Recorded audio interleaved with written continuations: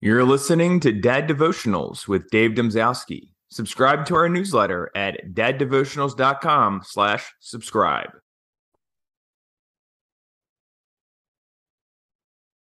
Dad loves people. This fascinated me for several reasons. First, he expresses interest in everyone, not just the VIPs. This interest is genuine and attested to by all who know him. Second, he cared about people and would give someone his bus money and walk home if he saw that it would meet a real need.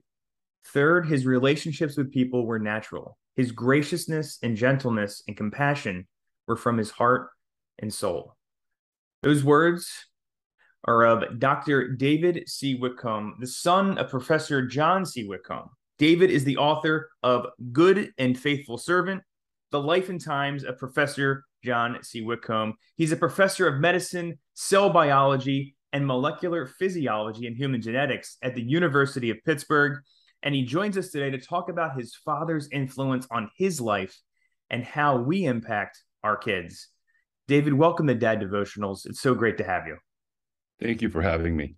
No problem at all. So let's start with this. Uh, and I think folks would really get it, get a kick out of understanding this dynamic. Tell us about your relationship with your father. Uh, well, um, you know, every person has uh, their own story, and mine was a, a little bit uh, awkward one. Uh, my father is was a, a, brilliant man. He died in uh, 2020 at age 95. Uh, he was a, a, book person, loved reading, and was um, trained at a, a, military academy where he learned a lot of discipline, got an early acceptance to Princeton University. Uh, that uh, education was interrupted with World War II, where he was gone for three years to fight the Nazis in Germany. As they called him the computer, he was a, a guy with a field artillery unit, and he would sit at headquarters with maps and information and knew where all of the uh, howitzers were hidden and where the enemy was and would calculate you know the uh, trajectory of the bombs that uh, were used to uh, destroy the German tanks and, and army. So he did that. Then he uh, returned, finished Princeton University, uh, read a book uh, between when he returned from fighting because he was a little bit disillusioned with everything. Some many people coming back from war just they're they're different. Sure. And uh, so he wasn't sure if he should return to uh, Princeton or not. Uh, his spiritual father, Donald Fullerton, uh, encouraged him to finish uh, his work at Princeton and then go to seminary because uh, my father had a passion to be a missionary to China. so he did go back, but before he returned to Princeton, he read a book by um, an author by the name of Wilbur Smith called Therefore Stand. And it was a plea for a new generation of apologists to come up and defend the Bible against uh, liberal thinking and higher criticism. So that just changed him into uh, an incredibly uh, proactive uh, Christian that worked 24 hours a day, seven days a week in evangelism on the Princeton campus and uh, with street meetings and uh, Sunday school classes and that kind of stuff. So he he was just 100% committed. He went to Grace Seminary uh, and trained to be a missionary, but the communists took over China and killed the Christians and expelled the missionaries either dead or alive, and it was impossible for him to go there. So he was invited to stay on the faculty at Grace Seminary, and he was there for the next 30 years. Wow. Uh, during that time, I was born. Um, so uh, he, for his doctoral thesis, had written a, a uh, thesis on the Genesis flood uh, from Genesis 6 uh, through 9. And uh, when I was young, I remember it was published in 19- uh, 61, and I was six years old. So uh, he became internationally known at that time and was uh, was very, you know, was very busy with uh, interviews and those types of things. Sure. Um, the second thing was that he was married while he was in in uh, seminary uh, to my mother, and she uh, had four children, and then uh, about 1960 started getting very sick. She had an autoimmune disease mm. called uh, primary biliary cirrhosis, in which the immune system attacked the liver. Mm. And uh, in 1970, she died. So my childhood memories of him were uh, of him being very busy as a seminary professor, uh, grading papers and being on, you know, the phone and conferences and uh, those types of things. But he would, uh, you know, take time to play with us as kids and do things that, uh, especially like taking us uh, swimming and playing frisbee. Those are the the activities that we shared in common. So uh, those were my my early memories of him. And then there was, you know, there's a lot of little um, little things I remember that uh, you know pop into my head from time to time about uh, when I was growing up. So uh, I think that he was. Um, let me let me rephrase that. My mother uh, tried to protect his time and to provide a uh, a high view of him and his his uh, ministry, sure. and uh, for us to try to help in that way.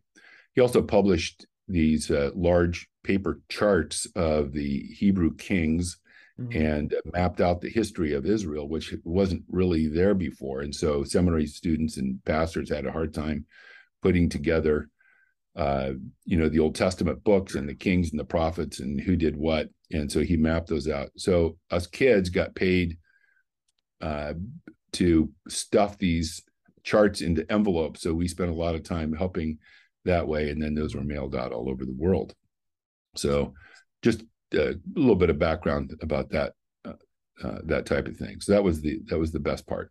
Yeah, no, no, I, I love that. And I appreciate you taking us through and giving us a little bit of history about your dad and and the fighting. I mean, good good lord. I mean, uh talk about talk about service to our country and to the world.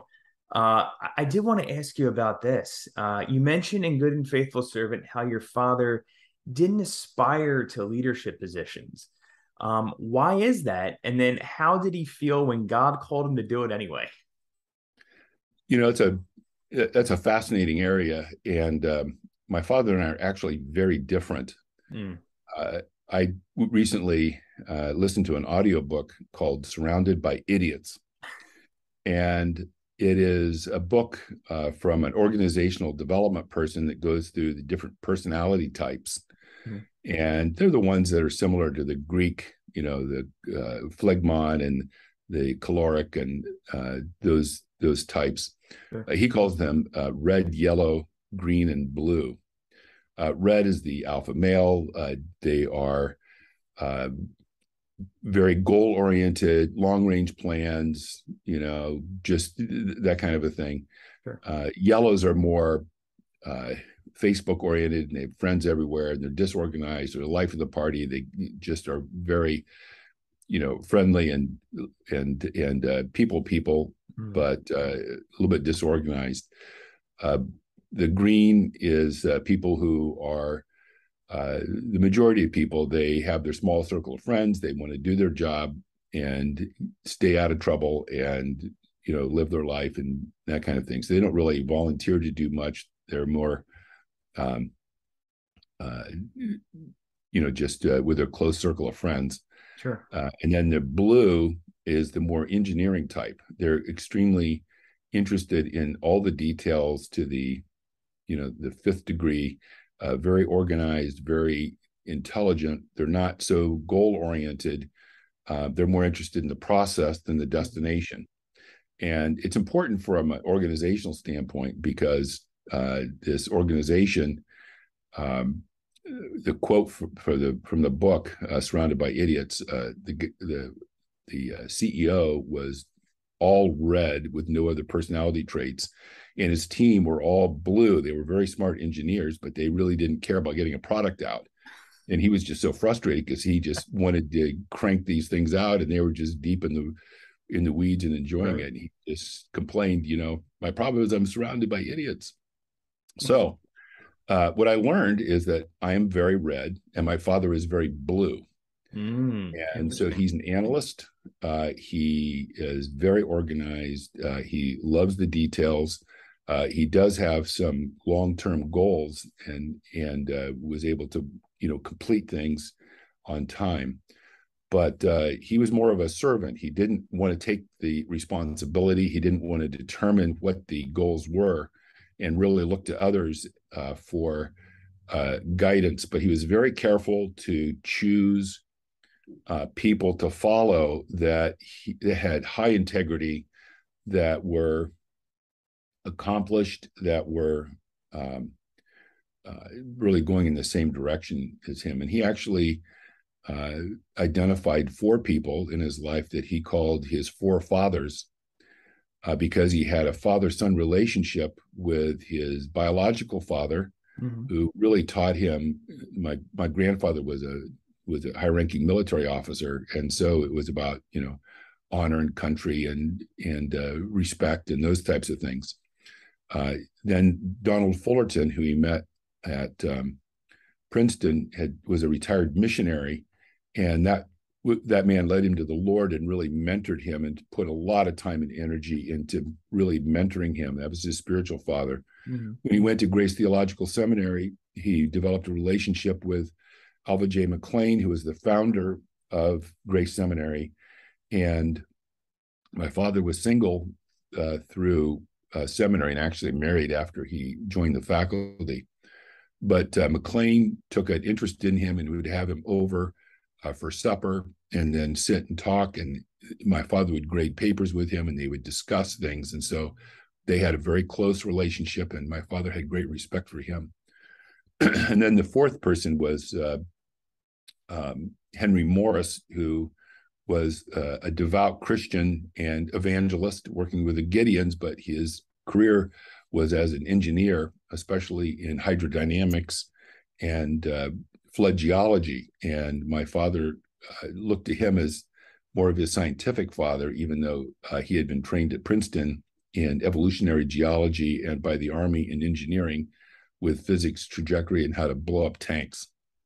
So um, he he uh, looked to these men for guidance, for uh, insights, for um, how to do things in in the right way, how to think about things, approaching problems, and uh, then wanted to work very hard to to please them and uh, to show that he had appreciated their advice and had taken it and that it was successful. And so th- those uh, those uh, relationships were very important. The problem is, is that um, the uh, the fathers get old and die, mm. and he found that uh, he was looked up to as being in a leadership position, but um, you know, leadership has different elements to it. Um, they wanted him to be president of Grace Theological Seminary, and he said no. And the reason is is that uh, you know the the president of a university their job is fundraising, facilities management, hiring, firing staff, uh, you know, trying to listen to, you know, the supporters' complaints, uh, doing some teaching, but uh, most of it is just uh, taking care of the facilities and making sure that the funding comes in and that the curriculum is okay and that you know you hire good people and fire bad ones and and uh, those types of things. And he that wasn't him. He just he just was not interested in the facilities or money or those those types of things because he was focused on uh, the future in heaven and God's plan on earth. So uh, he preferred to uh, to focus on teaching and preaching and and uh, those types of things. So uh, that one type of leadership, which is an administrative leader, mm-hmm. is very important. You have to have them. Uh, my father could probably never fire anybody.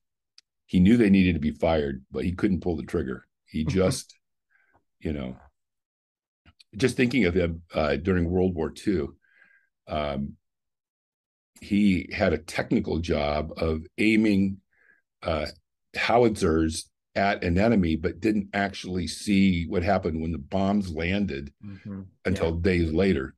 Yeah. But um, uh, during his training, I remember, you know, they talked about, you know, he had to shoot a, learn how to clean and shoot a rifle and crawl underneath barbed wire. And uh, then they had a day where they taught knife fighting. And I just thought, I cannot imagine my father knife fighting and plunging a knife into another person oh man. killing them. I just yeah. he he i just uh it was unimaginable. And uh you know in war there's things that you just you're put into a position where you know it's uh me or thee. And uh i think he would have said well you know um i'm not going to fight just you know it's just a strange thing so uh, from a leadership standpoint uh, he was a different type of leader he led by example. He was a servant leader. Mm-hmm. He demonstrated how to study and apply the Bible. He demonstrated uh, how to apply God's word. He demonstrated how to witness uh, everywhere he went, and and his students were were in, were amazed. They used to run him to the airport uh, when he had to catch an airplane, and every time they'd stop at a toll booth or at a you know, the parking lot or something. He'd hand out a track and he would give people, he'd witness to everybody. And that really made a big impression on them. And they remembered it throughout their their uh, careers as uh, missionaries and pastors and others that, you know, take take the most make the most of every opportunity.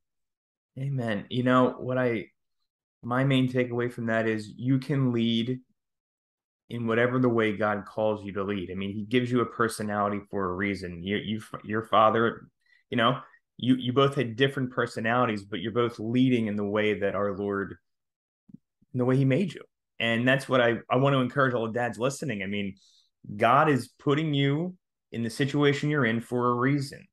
You are called to lead no matter what. You're called to lead your family, even if that's your only role. You're still called to be a leader. You need to use the gifts that God gave you, uh, and use them to the to their fullest extent. And don't be afraid to. Don't be afraid to embrace your personality because you know father son very different going about it in different ways but they're still utilizing the talents that's the key utilizing the talents i mean you talk about your father uh, from you know that engineering mindset then you think about it it makes sense if he goes and puts together the entire list of of uh, kings and prophets and everything and and uh and and taking that what many would probably find painstaking if you're a you know of the yellow personality for instance.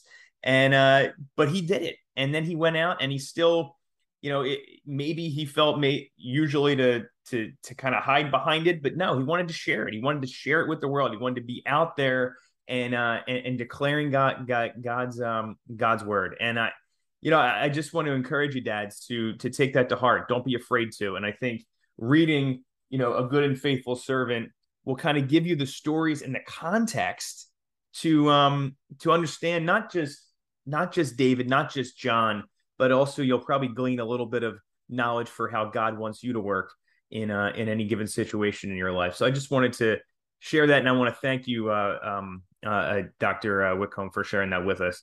Right now, we're going to take a break to thank our sponsors. When we come back, we'll chat more with Dr. David Whitcomb, medical doctor and professor and author of A Good and Faithful Servant. We'll be right back, folks. Dad, do you need a website for your ministry or business? American Web Creations is a web design and digital marketing specialist that helps small business owners grow their business. Whether it's building a new website, helping to get found on search engines, or simply managing all the moving parts of the digital world, American Web Creations makes it easy by handling everything in one place. If you're a swamped business owner and need a little digital relief, go to daddevotionals.com slash web for discounted pricing.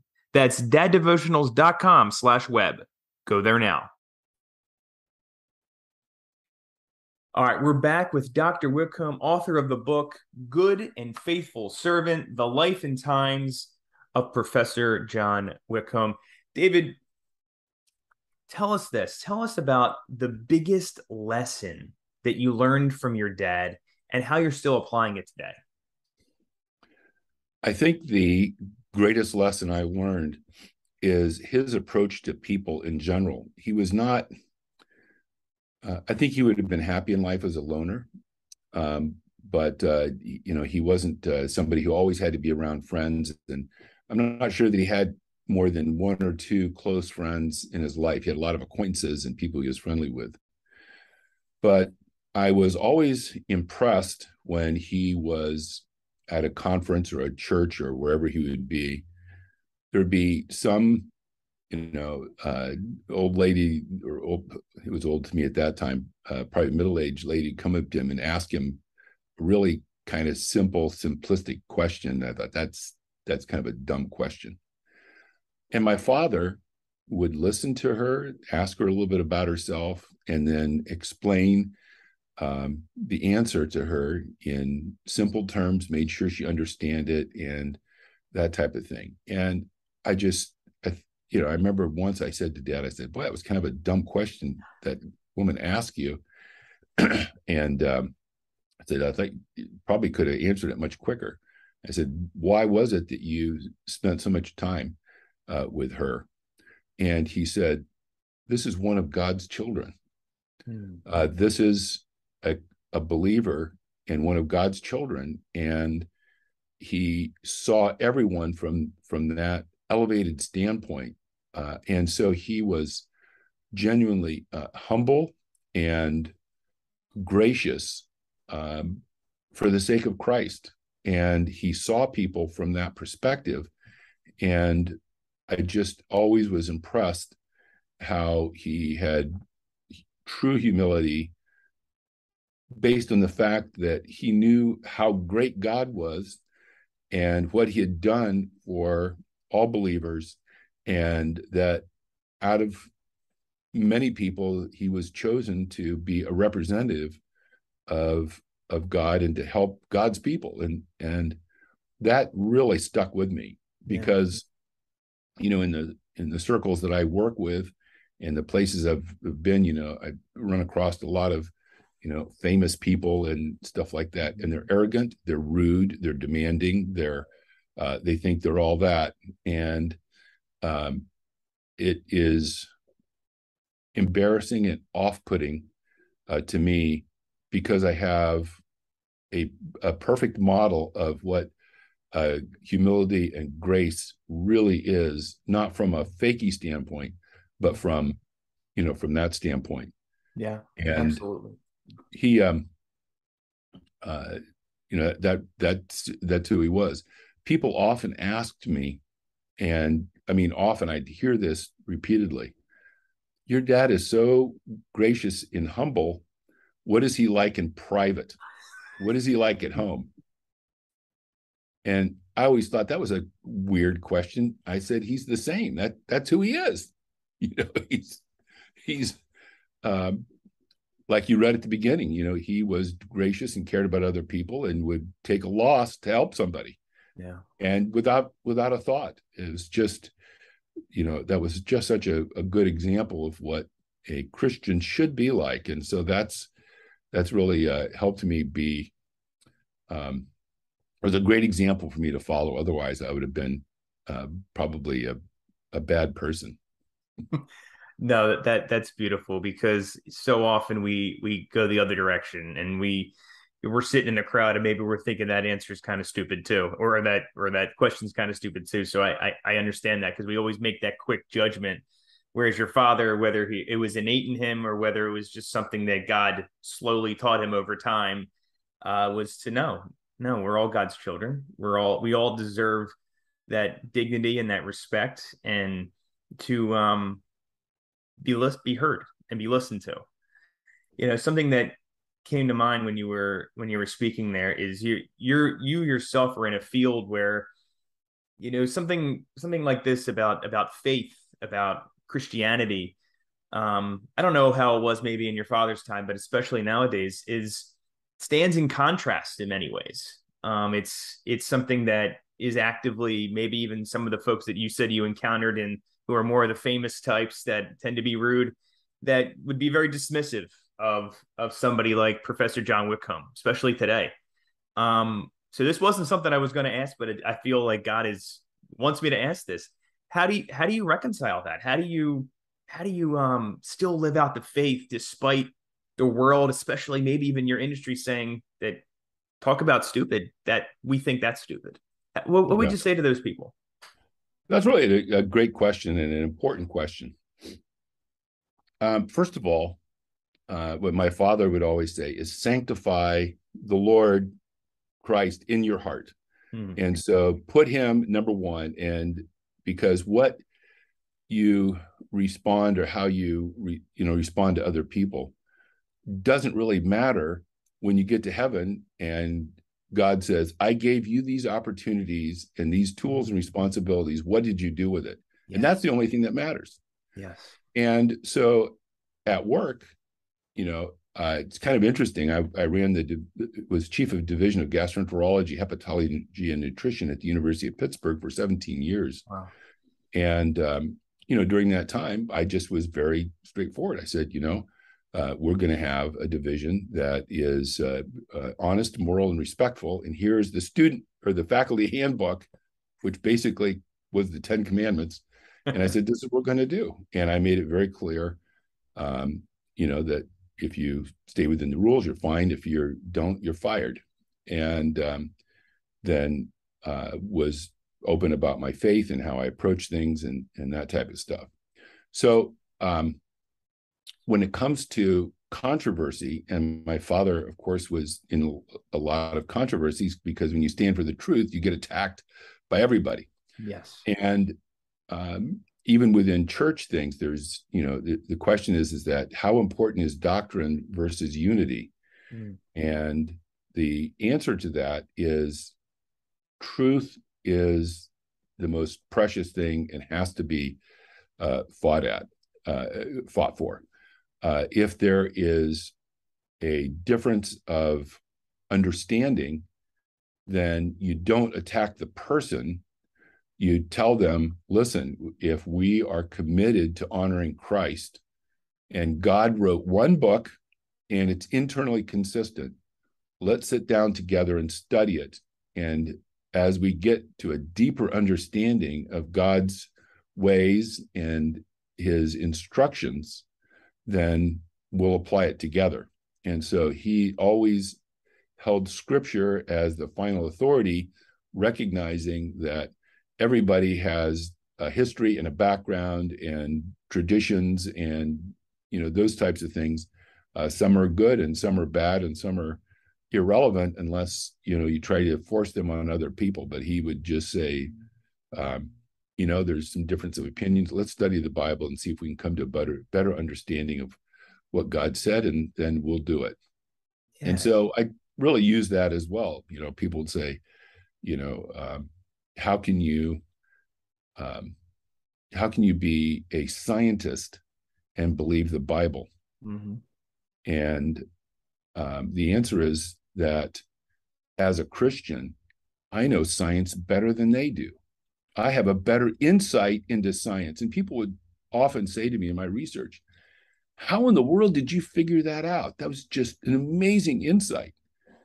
And the answer, of course, um, was that I have a completely different perspective than all of my, or than many of my colleagues. They believe that human beings are the result of multiple good mutations that changed a pollywog into a person and that mutations sort of accumulate in better and better ways and lead to where we are today. Well, my view is completely the opposite. I believe that God created humans in a perfect way and that all mutations are either neutral or damaging. Mm-hmm. And the genetic code codes for the pieces of biological machines, and the machines have multiple parts that have to be in the right number, in the right place, at the right time, and connect with each other, and then run as a machine to have a function.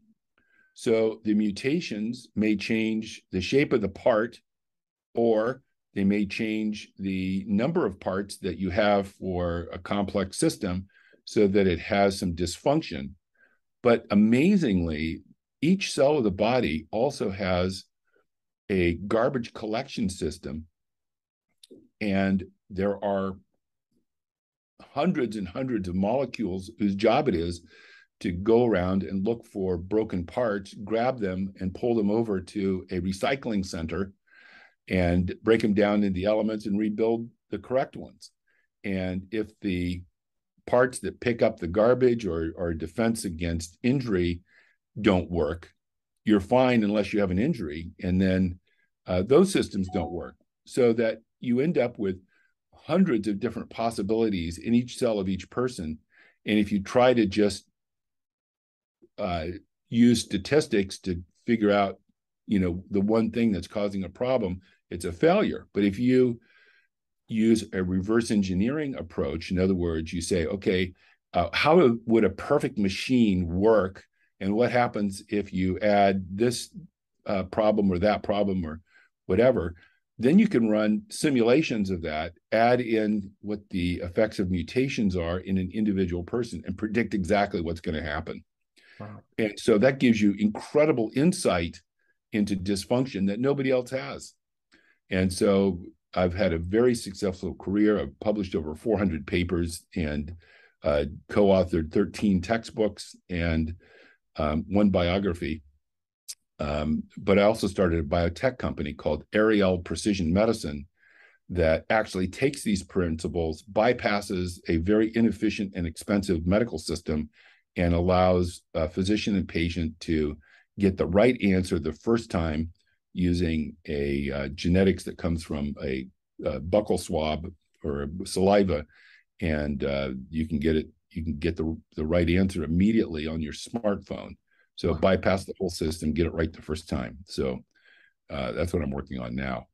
But that perspective, you know, I don't argue with people about evolution because if you don't believe in God, then you have no other alternative, even though it's a theory without a mechanism and it is absolutely failed in every area. Although people outside science don't realize that, they follow the science, even though they're completely ignorant as to how science works. And uh, most of the uh, science that's pushed on them or pushed on them with uh, politicians or influencers uh, and and uh, not a rigorous and truthful scientific argument. Wow. so there you go. Thank you for saying that. I appreciate that. Great great soundbite material right there. I appreciate I appreciate that. You met you mentioned your your company and the and the and the swab. So what are you, I'm just I'm just curious for myself, and I'm sure some of the listeners will be too. What are you what are you looking to what are you looking to do there? I understand that you're you're bypassing some of the you know some of the systems and everything like that, but what do you what are you looking to do for folks? What what kind of answers are you looking to give them? Well, I mean, um, well, one that people may be familiar with is that um, as you get older, you start taking medicines for you know blood pressure and diabetes and uh, all kinds of things. It turns out that there are a lot of genetic mutations in the molecules that either take prodrugs and activate them into active drugs, or take active drugs and metabolize them and remove them from your body. So if you have those uh, problems, then uh, you take a medicine and it doesn't work the way it's prescribed and so it, it can be ineffective. Uh, sometimes it just doesn't work. Other times it can cause toxicity. Hmm. Well, we know exactly why. We know the genetic mutations in each of the genes that metabolize each of the drugs. And so um, it would be helpful if you could get that information. So we take a buccal swab, we run, uh, this is pharmacogenetics, and then have it on a QR code on a wallet card or your smartphone. So you go to your pharmacist and say, here's my profile. Here are all the list of the drugs that I'm going to have a hard time metabolizing, should have a different dose. And, uh, you know, they can, they can adjust it immediately. But the other thing is there's a bunch of symptoms and I'm, I'm a gastroenterologist. So the first um, things are in gastroenterology. Um, if you go to a gastroenterologist and say, I've been having abdominal pain and bloating and some diarrhea, and you know, you get a, a, upper endoscopy and a colonoscopy and some blood tests, and then they'll say, "I have no idea what it is." If you try to pursue it, it's a diagnostic odyssey that takes a year or so, and they may never be able to figure out what's going on. So what we did is we took um, all of the uh, common disorders that cause that, went to their genetic basis, and put all of those onto the same QR code that you can scan. But this has a scan that the, the physician's phone will pick up, and uh, it can immediately sort through the things that are most likely and things that are unlikely, and then give uh, clinical decision support to say to the physician, uh, this person has a high risk of celiac disease, a low risk of pancreatic insu- uh, exocrine insufficiency, a low risk of Crohn's disease, a low risk of uh, sucrase isomaltase deficiency, you know, and a, a low risk of uh, SIBO, and therefore you should get a transglutaminase test and put them on a special diet. And here are the resources you need. So in one second, you can get information that otherwise you won't get for a year after spending thousands of dollars and suffering the whole time.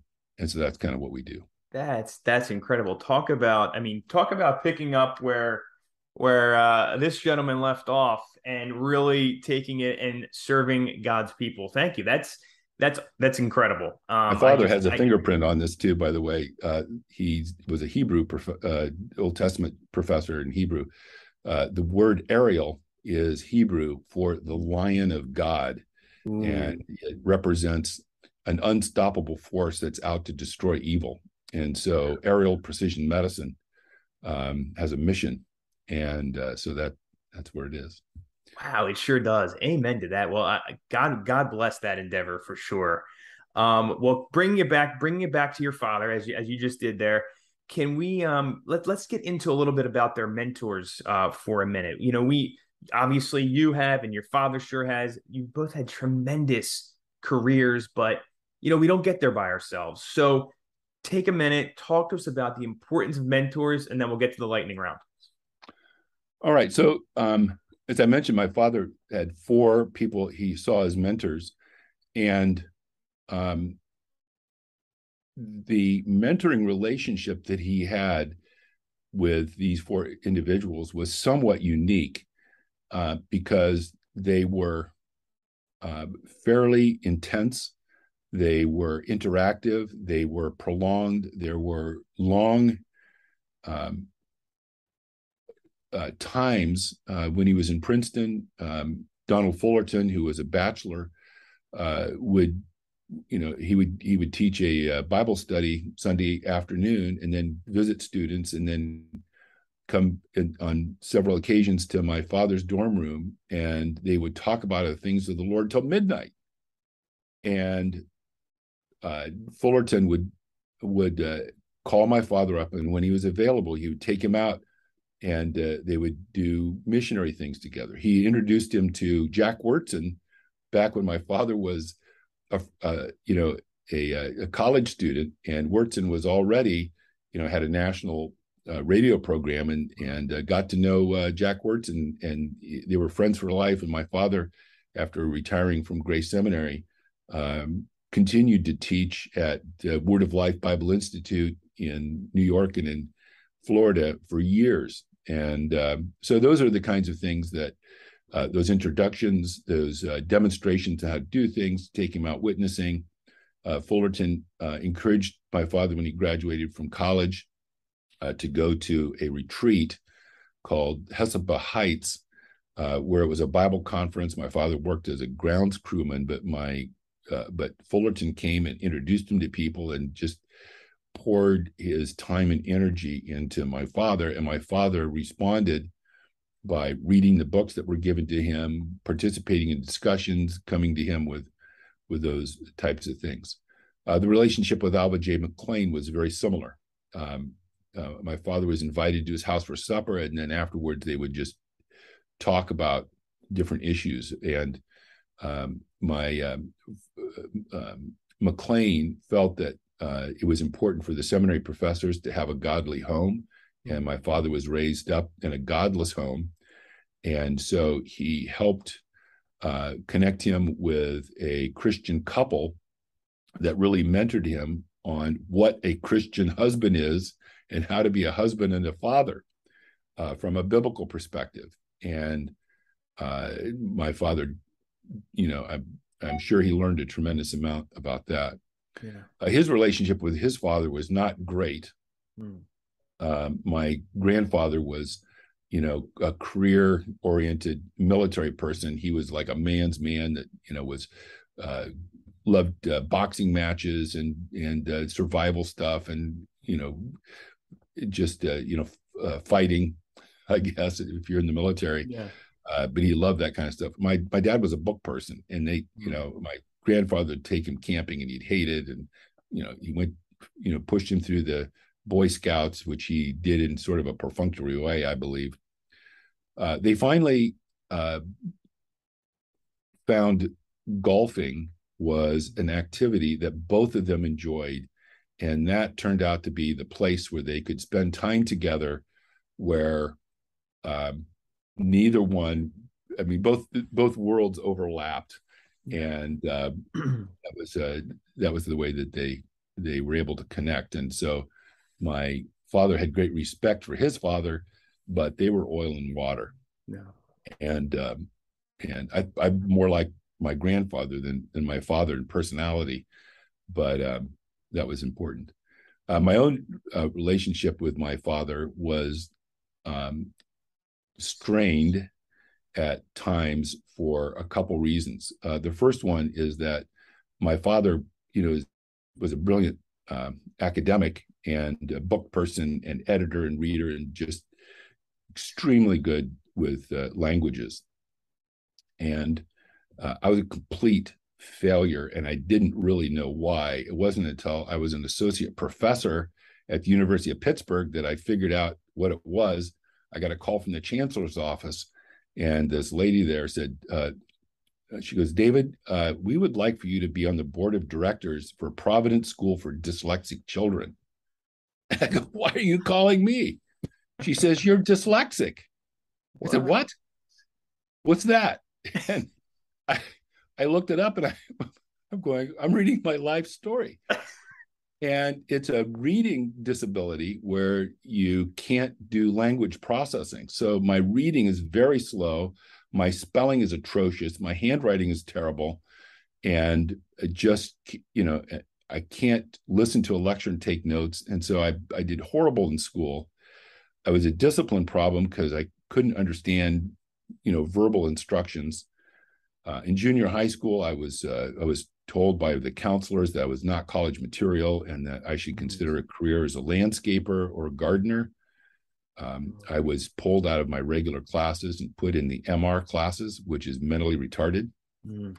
And then I had a teacher by the name of Mr. Brenneman that said, uh, I'm not sure we're doing this right. I think David's bored because you can't be an idiot and a, one of our best chess players. So he put me in advanced uh, biology and advanced mathematics, and I did extremely well. And in retrospect, it's because they teach differently. They teach conceptually instead of memory. And for people that are dyslexic, those those are really key things. And the second thing that happened when I was through halfway through college, struggling with a C minus average at a low ranked college, um, one cold night, I uh, my hands were frozen from uh, trying to clean my windshield of ice with no gloves and no scraper. I'd use my pocket comb. Went back to the dorm and there were some guys drinking coffee and studying, and I picked up a cup of coffee to warm my hands. And I ended up drinking it and it was pretty good. So I drank another cup, went back to my dorm room, opened up my textbook, and for the first time in my life, I could read and understand what was on the pages. It was like a miracle. It was like the first time you put on glasses or yeah. you know just uh, the, the the the blinds were pulled apart you can see out the window and there's a world out there so i went from a, a c minus to a straight a student with coffee there you go um, but by the time I was in college, there were two things that happened. First of all, um, when my mother had primary biliary cirrhosis and had died, and my father remarried a widow with two children about my age, and we did not get along. Mm-hmm. Um, and I ended up getting uh, shipped off to some Christian boarding schools, of which I got kicked out of a couple of them. And my father was just extremely disappointed. He had a vision of me being a academic and a pastor, and to be a pastor, you have to have a calling to be a pastor, and that just, uh, uh you know, um, impatient with people and didn't, you know, and just uh, it was it was tough. Sure. Um, but um, so when uh, by the time I figured out, uh, you know, that uh, coffee actually made me a functioning human being, and I was able to uh, get into biology, which I was extremely good at. Terrible at everything except for biology, and um, then uh, went on and uh, got my PhD in physiology, which is in mathematical modeling of complex systems, and then my MD, and then uh, went to Duke University and was recruited to the University of Pittsburgh. So my father was very proud of me, but we didn't really, we weren't in the same state at that time, and um, so he would call me on Sunday afternoons to see how how, how I was, but. Uh, those times growing up, he was very disappointed with me. Thought I was a you know huge discipline problem, uh, because I was rebellious, but I was a discipline problem because I didn't understand the instructions and became, you know, angry and, and bitter from getting punished all the time and just, you know, working hard at school and failing. Uh, so um, I think he he was he was actually shocked that I finished college, was double shocked when I got a PhD, triple shocked with an MD, then I was accepted at Duke, and he's going like, "Who is this guy?" so um, then then um, my youngest daughter, when she was in junior high school, had to interview my grandfather about World War II. And so she's interviewing him, and he's talking about this stuff, and we're going, "Who is this guy? We've never heard these stories before. we had no idea, you know." And um, so I started documenting this this stuff, and and uh, really I was able to build a relationship working through his diaries because he kept a diary every day of his life oh. since age 11 so that's 30,000 pages and uh, all the letters he had and was able to uh, really get to know him through uh, writing this this book and um, uh, you know he I was happy that he um, it, it, you know appreciated uh, who I was from um, an accomplishment standpoint, other than just you know uh, seeing me as as uh, one of his children he needed to you know continue to to nurse along.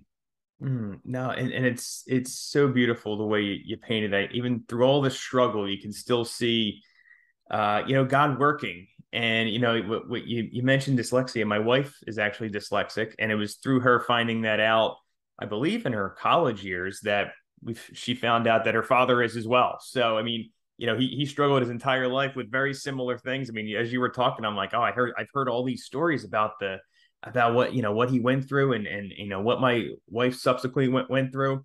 But it's it's it's amazing too because I, I believe I believe Tom Cruise has, and there's a lot of actors and entrepreneurs that that have dyslexia. So it doesn't surprise me then about what you're doing now with your company and trying to solve a problem in a very unique and creative way. So, I mean, that's yeah. yeah. Well, you know what? God creates each person with strengths and weaknesses for a purpose. Amen. And the one of the great joys I have in life is that I'm really good at solving complex problems that are unsolvable. Mm-hmm. And so I, when I was running the division, I we had a guy from Harvard, an MD, PhD uh, from Harvard with a PhD in neuroscience, and uh, I had him as my clinical associate chief. Um, and he came up to me one day and said, David, it's really amazing to watch you solve unsolvable problems sideways. I love that. I so love I, I didn't, you know, I thought that was that was interesting, but I didn't I um I thought it was logical and straightforward. He he saw that it was completely different the way everybody else looks at it, and actually was able to solve those kinds of problems. So, anyway, um, God's given me a uh, uh, a disability that's a great strength, and guided me into a position where I believe I've been able to have a, an important impact, and um, so for that I'm very thankful. But uh, I think the you know, one of the most important things I've done uh, is to write this biography about my father uh, because he's really somebody whose life uh, needs to be studied. It's a story that needs to be told, and there are many examples of how God mo- um, molds people and things that he was strongly opposed to or mistakes he made to end up in a place where he wasn't expecting but it was the hand of god preparing him you know to write the genesis flood and to uh, to really learn how to defend the bible in a way that nobody had really defended it before. He, he was really one of the first to use an inductive bible study method and a presuppositional approach to apologetics where you say you start a conversation not by i believe philosophically there's a god because blah blah blah. You say god wrote a book and he said and you unleash the you know the the scripture truth and the holy spirit. And that's the only way anyone can actually uh, be saved and be a christian. It's not your you know your argument it's can you present the scriptures so the holy spirit can change a heart and mind? Hmm. amen. Amen. Well thank you so much for sharing your your your father's life and your life with him and then you know everything that that god has done in your life in particular with your career. I i can't thank you enough. Now it is time for the lightning round. This is my favorite segment of the program. So five five questions quick answers think 20 seconds or less and then we'll hope i won't be out. shocked by your questions in the What's lightning that? round. I hope I won't be shocked by the lightning in your lightning rounds. I don't think you'll be too shocked. I think they're right. pretty straightforward. So let's start. Okay. What's the most rewarding thing about being a parent? Being a grandparent. Mm, interesting. How about the most difficult thing about being a parent? Um, struggling with the teenage years where your children think that you are complete idiots and they know everything and you can't reason with them it's just very frustrating Talk about, uh, you know, talk about being in, in the struggle and uh, relying on faith. Number Yeah. three, who is one Christian you admire and why? um, david jeremiah other than my father um, he's uh, just a man of god who's working hard he's so clear and so articulate and uh, really appreciate all that he has has done and and uh, i admire him Perfect. Number four, best resource on biblical biblical perseverance other than this book.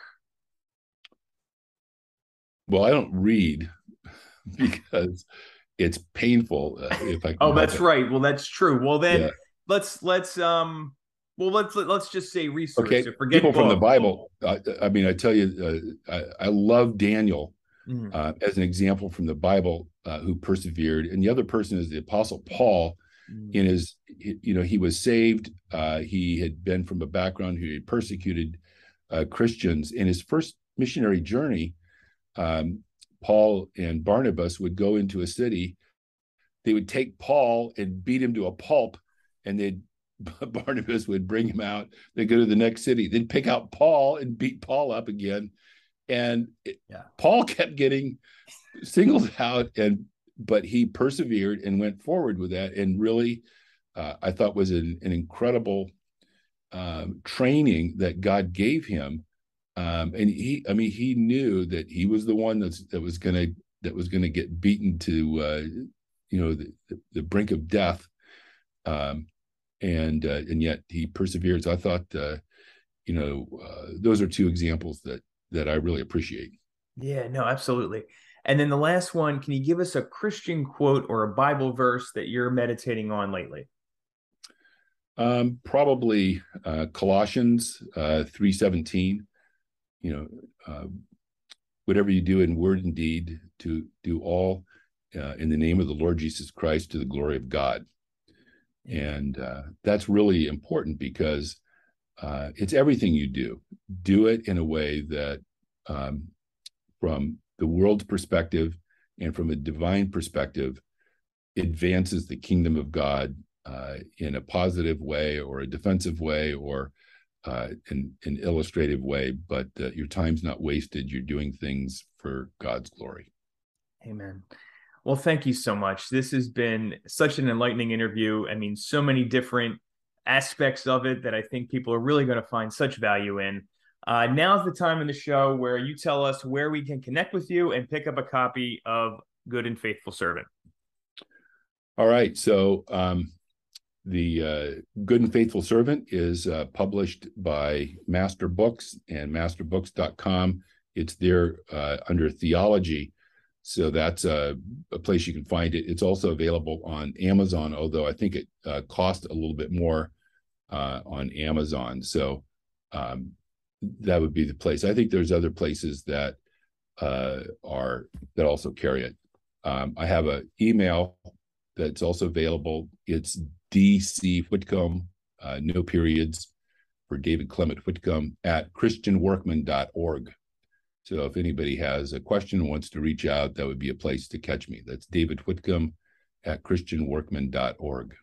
Perfect. Thank you so much. And guys, I will link all that up in the show notes for you to have easy access to. David, thanks so much for coming on the show. May God grant you many blessed years. Take care and God bless. Thank you so much. All right. Thank you. And uh, appreciate the opportunity to share this time with you. Absolutely. Thanks for listening to Dad Devotionals. Make sure you subscribe to our newsletter at daddevotionals.com slash subscribe. Until then, God bless.